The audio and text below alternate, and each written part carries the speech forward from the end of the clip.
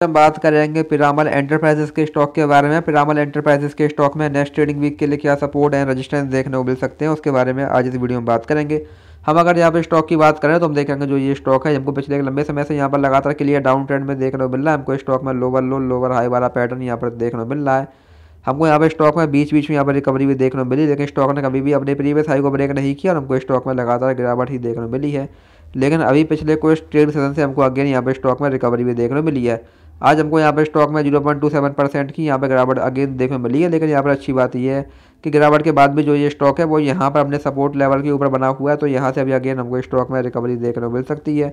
यहाँ से अगर अब स्टॉक में रिकवरी आती है तो यहाँ से रिकवरी की कंडीशन में हमारे पास यहाँ पर स्टॉक में नाइन फिफ्टी टू का पहला यहाँ पर रजिस्टेंस देखने को मिलेगा। अगर स्टॉक ने इसको ब्रेक किया देन यहाँ से हमको स्टॉक में अगेन एक अच्छी तेज़ी, एक अच्छी बाइंग यहाँ पर देखने को मिल सकती है। इसके बाद हमको यहाँ पर स्टॉक है one zero one two then यहाँ से हमको स्टॉक है वन ज़ीरो सेवन फाइव और अगर स्टॉक ने इसको भी यहाँ ब्रेक किया देन यहाँ से हमको स्टॉक में again one one three five and then यहाँ से हमको स्टॉक में अगेन ट्वेल्व हंड्रेड और इसके बाद हमको यहाँ पर स्टॉक में थर्टीन फोर्टीन हंड्रेड तक के लेवल्स भी यहाँ पर देखने को मिल सकते हैं।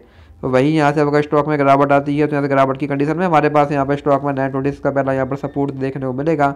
अगर स्टॉक ने इसको ब्रेक किया देन यहाँ से हमको स्टॉक में eight ninety one and then यहाँ से हमको स्टॉक में अगेन एट फिफ्टी टू तक के लेवल्स भी यहाँ पर देखने को मिल सकते हैं एज ए नेक्स्ट यहाँ पर सपोर्ट तो ये स्टॉक में कुछ इंपॉर्टेंट लेवल्स हैं, आप इन पर ध्यान दे सकते हैं। बाकी वीडियो में कोई बाय सेल होल्डिंग सलाह नहीं है। वीडियो केवल एजुकेशनल पर्पज़ के लिए धन्यवाद।